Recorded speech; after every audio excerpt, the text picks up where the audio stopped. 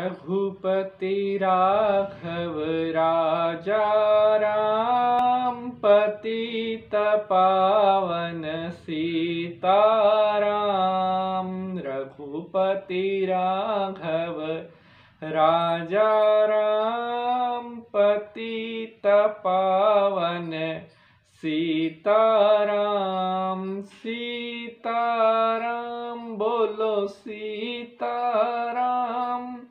भज प्यारे तू सीताराम जय रघुनंदन, जय घन घनश्याम पतित पावन।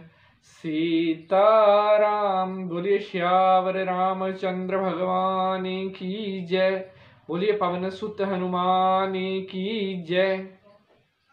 नमस्कार। प्रिय दर्शकों, स्वागत है आप सभी का आपके अपने YouTube चैनल पर और मैं पंडित नितिन शास्त्री आप सभी दर्शकों का बहुत बहुत स्वागत करता हूँ। प्रिय दर्शकों, इसी तरह से आप हँसते रहें, मुस्कुराते रहें और भगवान श्री रामचंद्र जी की कृपा आप सभी भक्तों के ऊपर यूँ ही बनी रहे। आज के इस एपिसोड में मैं आपको बताऊँगा कि साल 2021 में रामनवमी का पर्व कब है, पूजा का शुभ मुहूर्त क्या रहेगा और रामनवमी से जुड़ी हुई कुछ ज़रूरी बातें आज के इस एपिसोड में मैं आप सभी भक्तों के साथ शेयर करूँगा और साथ ही साथ रामनवमी पूजा की विधि भी मैं आप लोगों को बताऊँगा।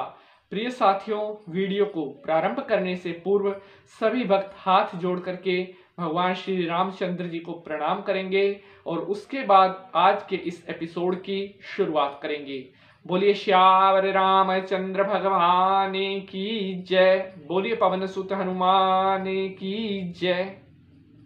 प्रिय दर्शकों, आज के इस एपिसोड में मैं आपको बताने वाला हूँ कि साल 2021 में रामनवमी का पर्व कब है, पूजा का शुभ मुहूर्त क्या रहेगा, पूजा की विधि क्या होगी। प्रिय साथियों रामनवमी का पर्व चैत्र मास की नवमी तिथि को मनाया जाता है। और यह पर्व भगवान श्री रामचंद्र जी के जन्म के उपलक्ष्य में मनाया जाता है, इसलिए इसे रामनवमी कहा जाता है। और ऐसी मान्यता है कि रामनवमी के दिन जो भी भक्त सच्चे मन से श्री राम जी की पूजा करते हैं, उनके ऊपर सदा श्री रामचंद्र जी का आशीर्वाद, उनकी कृपा बनी रहती है। इसलिए अगर आप भी रामनवमी के दिन सच्चे मन से भगवान श्री राम जी की पूजा करते हैं, उनका गुणगान करते हैं तो भगवान श्री राम जी की कृपा आपके ऊपर भी हो सकती है। प्रिय साथियों, अब मैं आपको बताता हूँ कि श्री राम नवमी की पूजा विधि क्या होती है।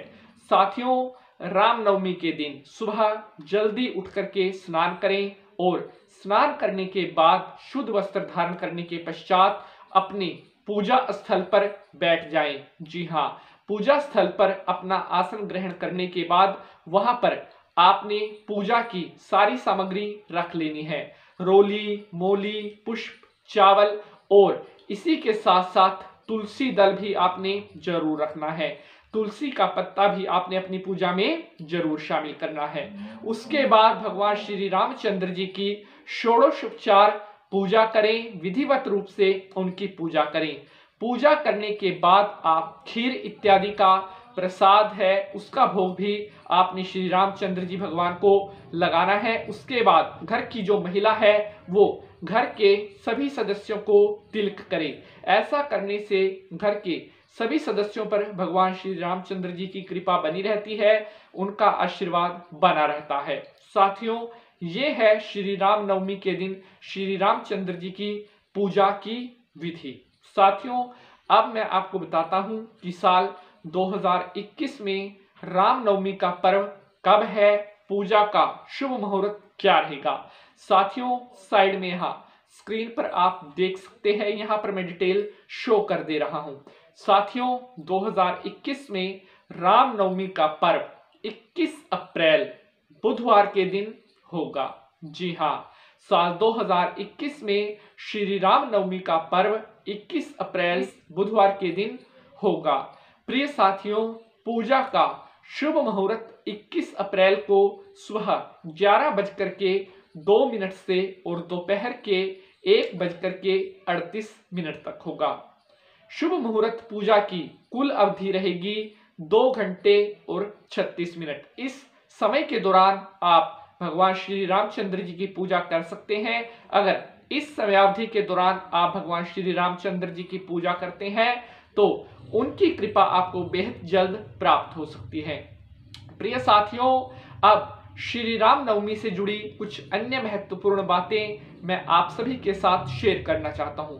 प्रभु श्री राम जी विष्णु भगवान के सातवें अवतार थे और चैत्र महीने की नवमी तिथि को उनका जन्म दिवस मनाया जाता है, जिसे कि हम श्री राम नवमी भी कहते हैं। कुछ महत्वपूर्ण बातें इस दिन अगर आप करते हैं तो बेहद जल्द आपको भगवान श्री रामचंद्र जी की कृपा की प्राप्ति हो सकती है। प्रिय साथियों, श्री राम नवमी के दिन आप रामायण का पाठ अगर करते हैं तो आपकी सभी परेशानियाँ सभी कष्ट आपके दूर हो सकते हैं।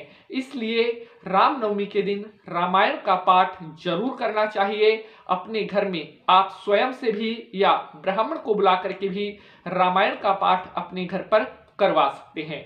उसके बाद अगर आप इस दिन राम रक्षा सूत्र का पाठ करते हैं तो ये भी बेहद कल्याणकारी होता है।